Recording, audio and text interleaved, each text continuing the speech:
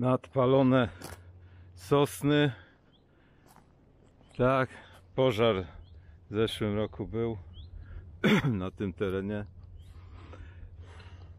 Ironia losu. Gdyby nie zbiorniki, co po bursztyniarzach, czyli zbiorniki wodne, z których czerpią wodę, to by tego lasu ogólnie nie było. Bo to tak szedł tutaj ten pożar, pamiętam. I, i tak zajmował pomału. Gdzie tam strażak, strażacy co, co dwoma, trzema wozami by nic tu nie zrobili. Dzięki tej wodzie. Dzięki tej wodzie.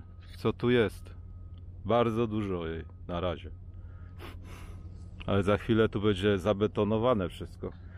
Także tak tu po, pożar. No, stara sosna wytrzymała, nie? No, ale wygląda okropnie. Nie dotykam, bo będę czarny jeszcze bardziej. No. Dąb prawie też. Ale... No ale te bliżej tego dotąd doszło i udało im się ugasić. Cała łąka spłonęła, co tam w oddali jest. Tak.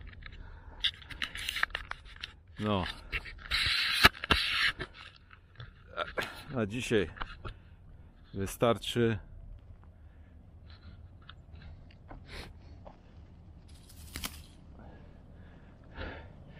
No i tutaj jest jeszcze do pokazania taki obserwacyjny ten. Taka ta kopułka zasypana. O. No akurat na niej spoczywam w tej chwili. No i na koniec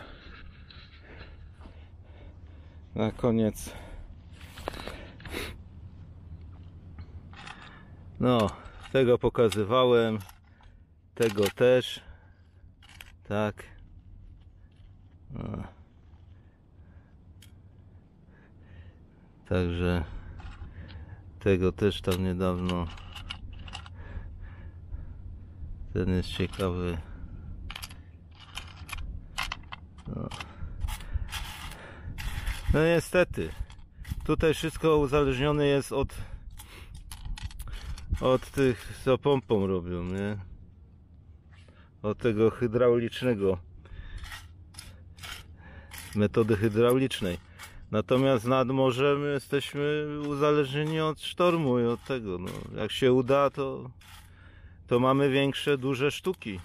A tutaj no, przechodzi jednak przez, przez ludzkie oczy jeszcze.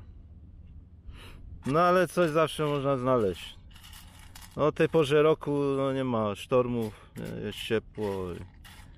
Ale czasami zimą też, też tutaj zachodzę. No bo nie ma cały czas sztormów. No, tyle.